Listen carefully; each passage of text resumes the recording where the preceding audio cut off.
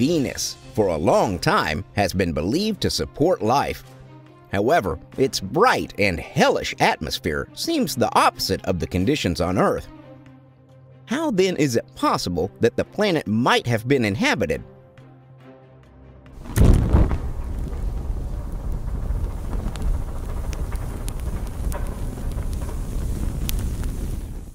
The fact that it was named after the goddess of love, beauty, and fertility might account for something, right?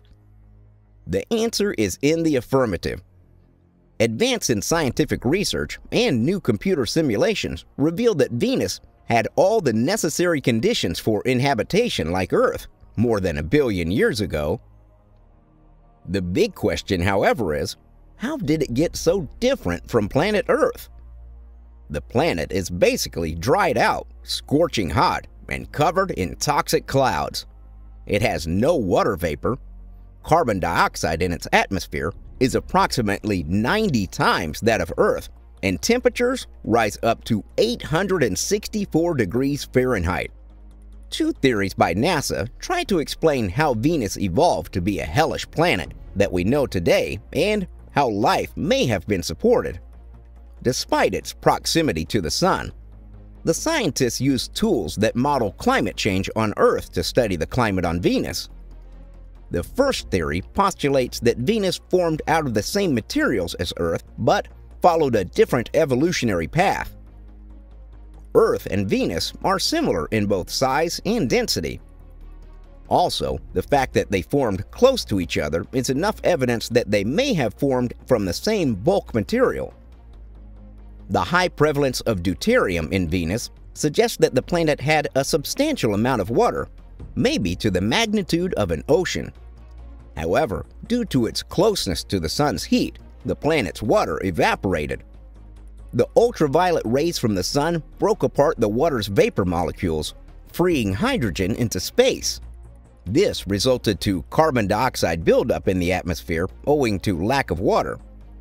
The ballooning cloud of carbon dioxide subsequently led to runaway greenhouse effect on the planet and created its present hellish conditions. There was also a greenhouse effect caused by water vapor. The high amount of water vapor in the atmosphere caused by the high temperatures formed an insulatory cloud that trapped excess heat from escaping. This is referred to as a positive feedback loop in the scientific circles and accounts for more global warming than CO2. But still, that does not explain how organisms survived in the scorching heat. The answer is simple. 80% of the sunlight that hits Venus is reflected back. Only 20% makes it through Venus's dense cloud cover.